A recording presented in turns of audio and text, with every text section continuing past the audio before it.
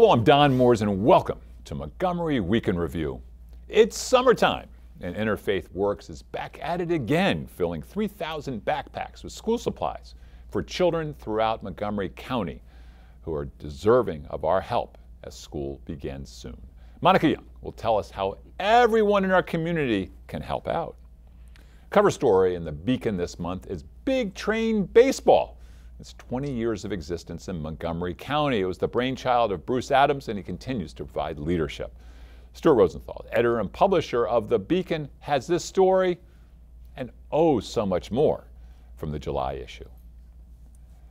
The recent primary election in Montgomery County had a lot of surprises, had more candidates than could be counted. And perhaps this was because it was the first election with public financing coupled with term limits at the county council level. And there may be a new candidate or two who will be on the ballot this November as we go to the general election. Jane de Winter, commentator for Montgomery Week in Review, has some thoughts on this. And as Jane does, she'll have thoughts on so much more as well. Running for office is always a challenge, but generally easier, it's thought, if the candidate is an incumbent. This year's crowded races in the primary brought some surprises to some incumbents. We've got one of them right here. Marice Morales, delegate from District 19, has a story of her loss. Welcome, all of you. Let us start, Monica.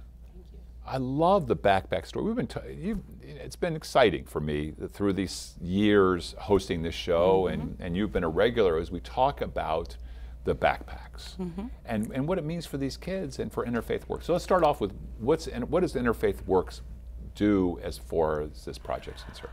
So Interfaith Works is, a, is, an agency, a nonprofit that's been around for almost 50 years, actually 47 exactly. And what we do is a variety of programs. Mm-hmm. We cover the whole spectrum of homelessness and poverty mm-hmm. and everything in between. You're all about empowerment a lot of empowerment, a lot of prevention, right. and a lot of uh, hard work on our right. staff to really meet the needs of our community. Right now, at the Interfaith Clothing Center, which is located on Twinbrook Parkway at the old right. Broome Junior High School. Broome with an E. It, mm-hmm. Broome with an E. Mm-hmm. We are getting ready for summer, and we're getting. We have a month to get. Getting ready for the fall. We're in the for summer. the fall. I'm sorry, for, for, the, fall. Right, yes, you're already right. You're right. You already got ready for the summer. That's right. I need to think about the backpacks. so we need right. to think about 3,000 backpacks that we need to prepare for the children in Montgomery County Public right. Schools. Perfect. And what's and so I know there's a lot of questions, and because this is a very popular topic on the show, is so what goes into those backpacks?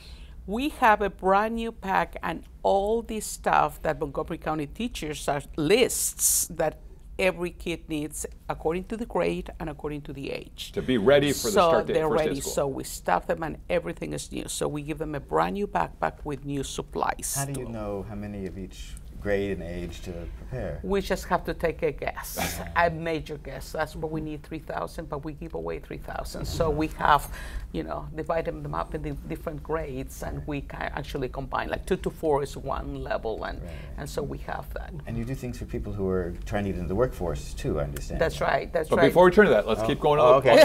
well, I was going to ask because your your Interfaith Works is doing 3,000 backpacks, but other organizations are also sponsoring mm-hmm. backpacks. Do you have any idea mm-hmm.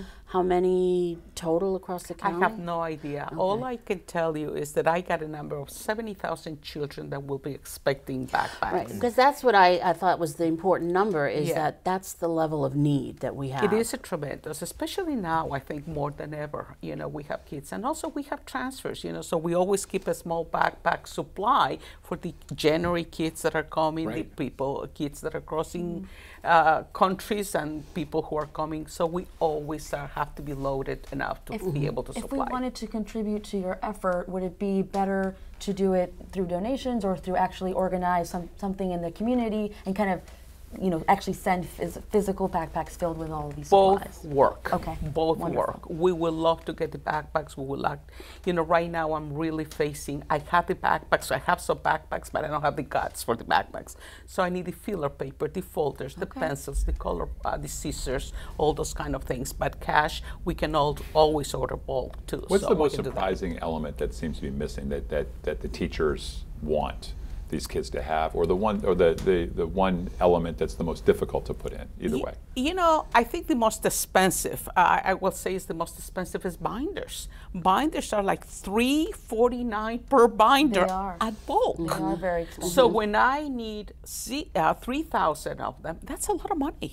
Right. That's a lot of money. So mm-hmm. imagine if you have three or four kids to fill up a backpack. A backpack is worth about seventy-five to hundred dollars. Wow for a family that's living 200% or below the poverty line, that is a major expense when you have more than one child. Mm-hmm. So, but the beauty of it is that in the Fridays during the month of August, we'll be distributing all these backpacks, and it's a kids program only. No adult is welcome to come with them.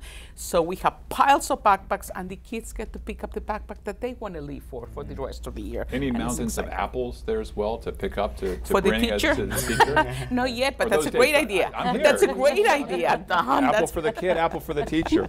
that's a great idea. Stuart, I'm sorry to interrupt no, you. before. mentioned to me beforehand there were all these programs for people trying to get into the workforce and training them with English and mm -hmm. computers and clothing and all kinds of things. So at the Interfaith Clothing Center, it's not clothing anymore. And actually, uh, we're thinking about a new name for this center because it has grown in such a way that we're providing much more. Okay, about 45 seconds left. There's, there's six different programs, workforce development, and of course, vocational services are there. But also a Prepare to Impress Corner in which we're collecting professional clothing with all the accessories and teaching people how to dress for the interview and for the job and for the workforce. Mm-hmm. But we also have English conversation classes, we have referral processes, we have housing program right there on site, and most important, we have a lot of people who care about our neighbors in need. Well, and I think as a united effort of all the houses of faith and, and you know, across the spectrum, and we have such a mosaic, it's, it, what a what a great tradition. Only great in legacy. Montgomery County, Don. This is great. Exactly. It's great. And also part of the public-private partnership. Yes. That, uh, Definitely. Monica, thank you. thank you. Good luck. Thanks, Don. Do what we can to thank help you. fill this up. Thank you very much. Stuart. Don. Let's play ball. right.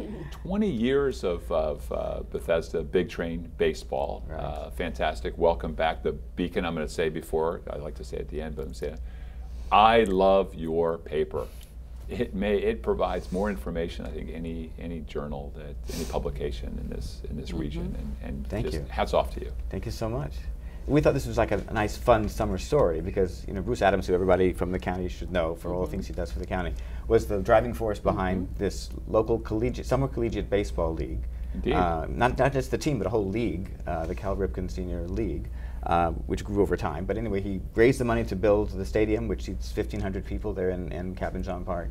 He's promoted it for many years. He right. brought, brings these college students, some of whom have actually made it into the big leagues over time. So it's just been a really beautiful story and of his, success. And his kid, his kid uh, uh, graduated from high school as a top player and went on to play I as didn't well. even know that. Yeah, and, ah. and, a little bit of Bruce as well. He and his wife went around the country and they and they wrote they the wrote a guide book, right? The photos book on, on baseball on minor, vacations or something. Well, minor right? league baseball parks, and yeah, yeah he, he's he's nutty about this, yeah. and mm-hmm. he's put his his thoughts and words into action, which is mm-hmm. which is commendable. And mm-hmm. What what is special about going out there? I mean, you're it's it's well on a summer evening. You know, you, they have upwards of 500 people at these games. Right. It's really a nice community spirit, and they're all ages and there's food, and then they usually have some kind of uh, nonprofit who's recognized, and they yeah, have people say, throw out the first pitch. We did it once. we threw out the pitch once. Yeah. You know, it wasn't me. I had someone up on my staff.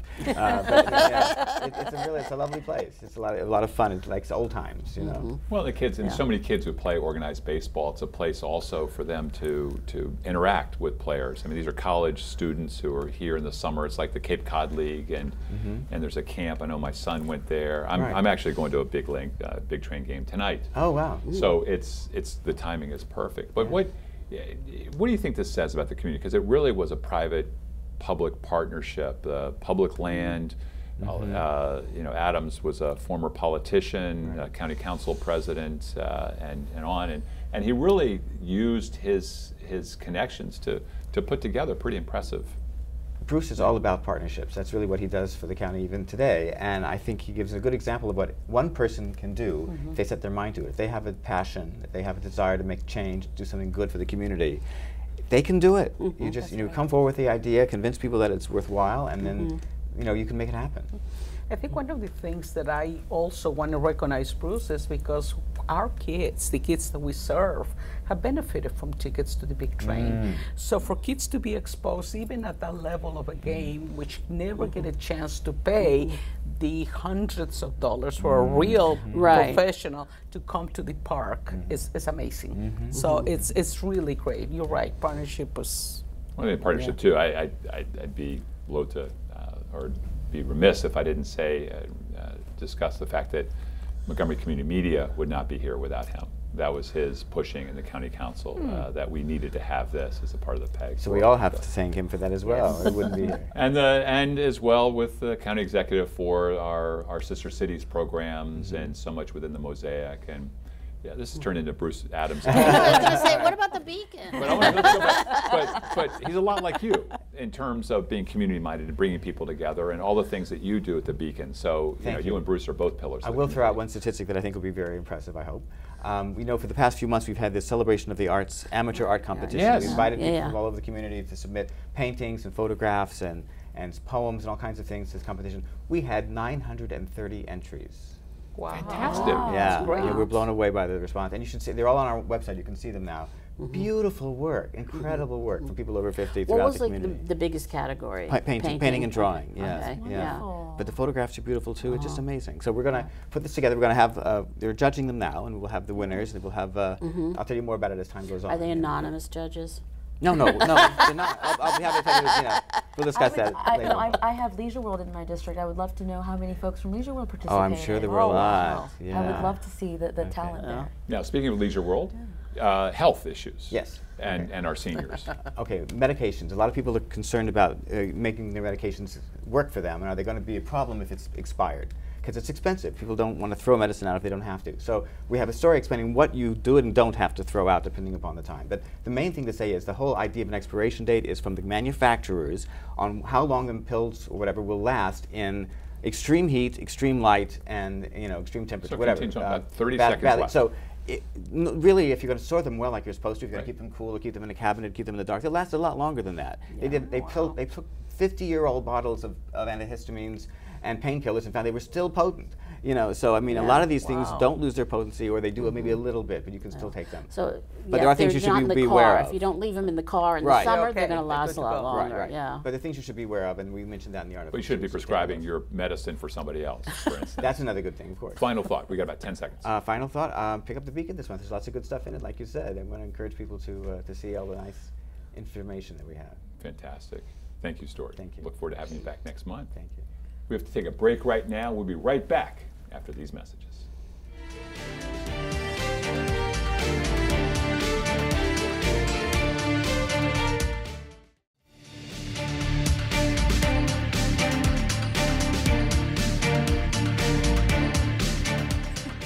And we're back.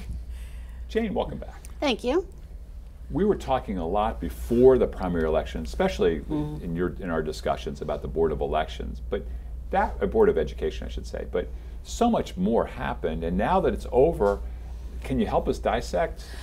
The, yeah, well, from the macro level or some of the micro level. A lot of people have been wondering. You know, okay, this was the first year of a public finance system for Montgomery County uh, candidates, and did it have an impact? Well definitely had an impact in terms of bringing people out to run. Like there were 33 people running for four seats on the county council at large. Right. But I would be hard pressed to say that it had an impact on the results. Hmm.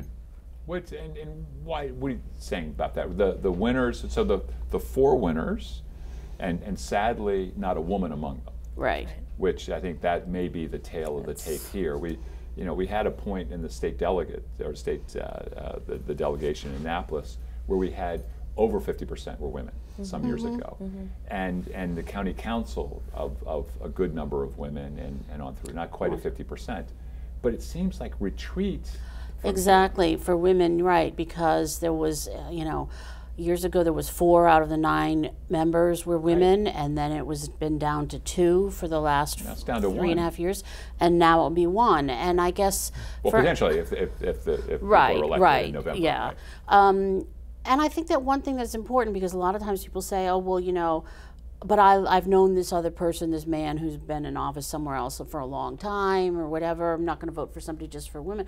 Well, then don't complain about it afterwards because really, if you really feel that having a mix brings a valuable perspective, brings, you know, some new knowledge or a new way of thinking things and a different kind of tone or tenor. And also in being the at group. the table. Right, being, Being at, at the, the table, table, and not from a exactly. representative If that's standpoint, but being- important, yeah. then you got to vote that way. That Right. that's, That's important, right. and I I am definitely somebody who thinks it's important. right. But let's go back and then open up. But let's go back to that point of why you didn't think that public financing had a impact Oh, okay. on the on the result. Right.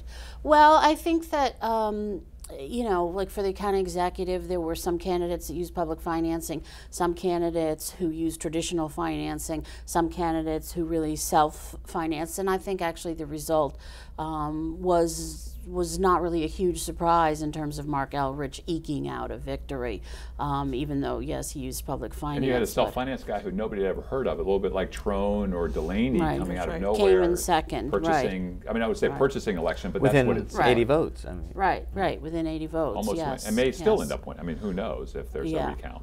Yeah. But Um, how, but much, it- how much did it cost the taxpayers to fund these campaigns? Well, the county had set aside $11 million because that was basically if. Um, if many people had reached, you know, like the maximum that they could, um, but there was very few candidates who reached, you know, like the maximum level of, of that they could get, and so so far the county's only spent four million. And not everybody got it either. Right. Right. There were people who opted out of the Right. public Well, funding. Lots. opted out, but there Lots were of people who who un- involuntarily opted out because they made mistakes. Right. Um, there was very uh, one of the things I wouldn't be surprised to see some tweaks to the law because basically you got one bite of the apple. You got to submit your your list of all of your donors once, and if if any if and you had to have a certain number of them and it had to reach a certain dollar level. Right. And if you had any errors, like somebody had given you an address, but really they were registered in somewhere else or whatever, um, and those got knocked out, you didn't have a chance to correct it or come back again. So it was like a one a one time thing. And so there was definitely some candidates who reached what they thought was a dollar amount and you know turned in some things, but I don't want to Didn't dominate the it. message, Right. but we have such a short time. Yeah. We have just a little over a minute left, which is crazy. The county executive race is not over yet. We've got Robin Ficker won the Republican. He was unopposed, and now he's got he's entitled to the county uh, uh, to public funding. We have Marc Elrich. Looks like he's going to be the winner over this self-financing David Blair. New entrants coming. new in. Entrants coming in. Well, there were a number of people who felt that you know call Mark a socialist or whatever, although he he would say no, he isn't. But um, but so there was some talk in the business community that okay, we're not happy with you know Mark being the Democratic nominee, and so Nancy Floreen has changed from being a Democrat to being an independent and has filed to run as an independent. She was one of the few county council people who didn't Right, who run didn't something. run, didn't run. So how is that going to affect 20 seconds Jean? left. Because I think Yeah. one of the things is how is that going to affect two Democrats, well-known Democrats, running maybe against each other? Hello, Robin Ficker. Uh, Robin e- Ficker has that's been way I- underestimated before, And this might be it. and yeah. So this is Ficker's time. I mean, even last time, Ike, Ike didn't even get two thirds of the vote in the general election. And if you talk about two people splitting less than two thirds, There's danger. I can't wait to hear more. yeah. I wish we could talk more and more about this. We have Yeah. like three shows just on the Yeah. election. and Yes, just yes. To, only Great. just to name the names. Yeah, Oh well, Come on, look forward to having you back, Jane. yeah. Our newest, first time on this panel, you were not eligible in the past as a candidate uh, running for anything. Uh, Marice Morales, delegate of District 19, Delegate Morales, we appreciate your being here. If you don't mind me saying Marice. Absolutely, please. Thank you for the invitation. So it's it's it's horrible to lose. You're and and, and I you know you've you've served uh, District 19 this is uh, term uh, and and you came up on election night and all of this you know this confusion with all these candidates. Right. I'm I'm so sorry. No, first of all, um, thank you. You know, it's it was looking back on that night. I think that it really it hit us when you know, it was more than half the precincts were in, and I just had to I had to be strong for my team. But I think that democracy is is, is a wonderful, wonderful thing, and um, I think talking about the public finance, it actually I see it from the perspective that it allowed folks who may have thought, you know what, I can't afford to to run for office jumped into the race. And so you had 33 candidates, and so voters were just overwhelmed. You had mailboxes full of mail pieces. Right. Folks didn't even realize, you know, this this candidate is for county council.